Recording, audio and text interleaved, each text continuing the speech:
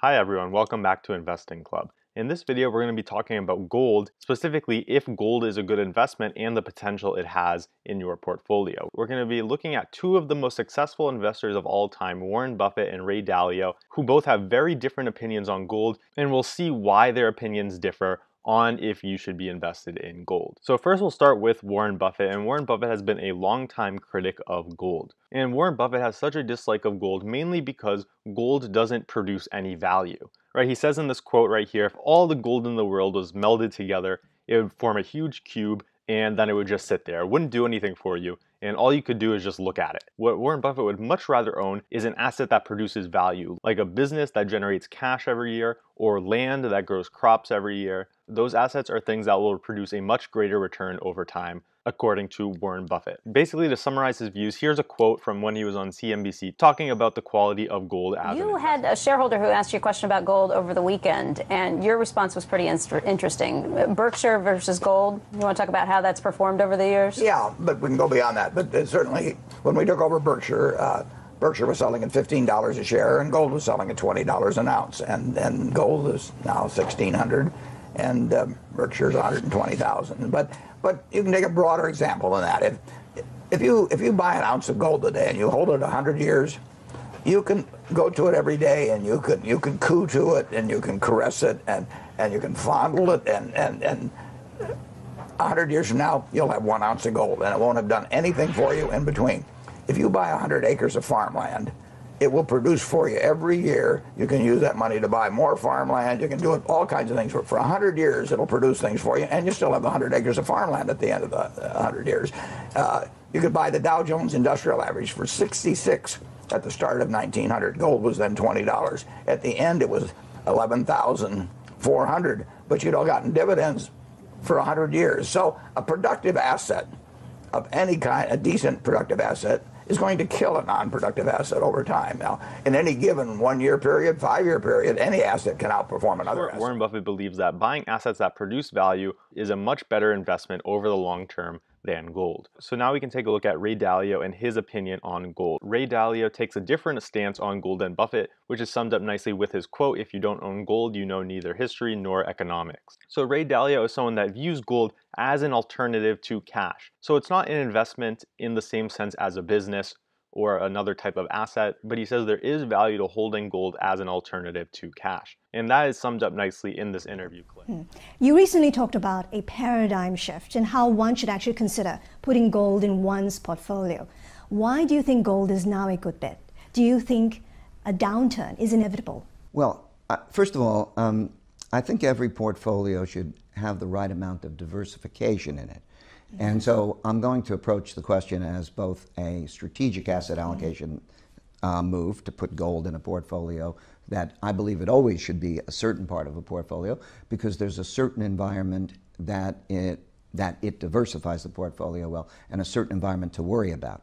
I also think that that environment is riskier more likely recently now.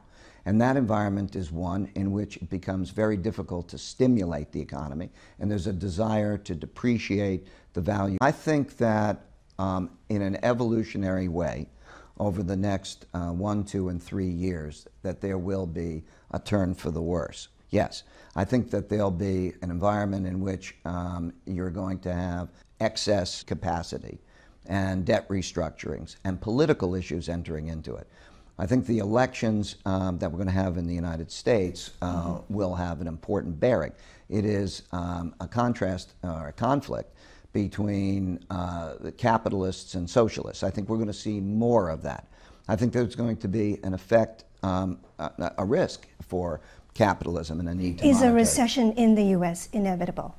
Well, of course, recessions are always inevitable. The only question is when.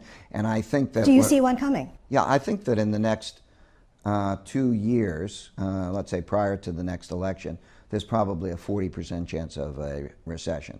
And mm-hmm. I think that you're seeing this around the world. We're in Singapore. I think you can see that there's borderline mm-hmm. uh, limited amount of growth. You could see it through Asia. You could see it in Europe, and you could see it in the United So overall, Ray Dalio is not very confident in the economy and the government's ability to control the currency. He sees the huge amount of money printing going on. We can take a look at the Fed's balance sheet. The size of the Fed's balance sheet has ballooned in the past few months. And so he thinks this will have an adverse effect on different investments like stocks, businesses, and real estate. And this is from one of his most recent letters. So talking about stocks, real estate, and other type of assets, he says he thinks those are unlikely to be good real returning investments and that those that do best when the value of money is being depreciated like it is right now is to buy investments like gold that tend to hold their value. And so Ray Dalio obviously believes this very heavily. He was a huge buyer of gold in the second quarter. His hedge fund Bridgewater Associates invested 400 million in gold over the past few months. And even though Warren Buffett believes equities provide a greater return compared to gold over the long term,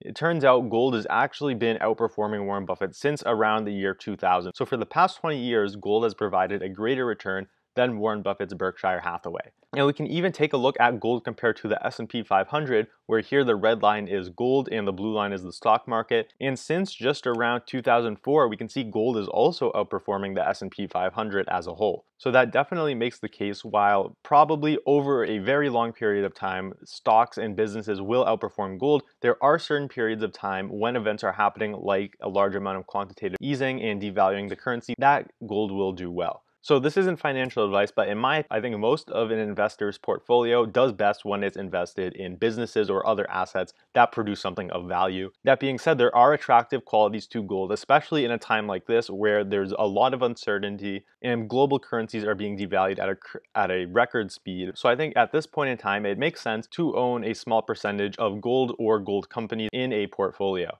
Me personally, I don't own any gold or, or gold stocks yet. However, I am looking very closely and I have found a couple of gold stocks that I do think have a lot of upside potential. And I do want to have some exposure to gold in my portfolio for the reasons I just said. So I likely will be starting a position in one of these companies soon. If you want me to drop a video on the different gold stocks I'm thinking about investing in, hit the like button. And if we get a ton of likes on this video, I know that people want to see the gold stocks that I'm thinking about buying. So that's it for this video, looking at Ray Dalio and Warren Buffett, two very successful investors who have different views on gold. Let me know who you agree more with in the comments, and I look forward to seeing you on the next video.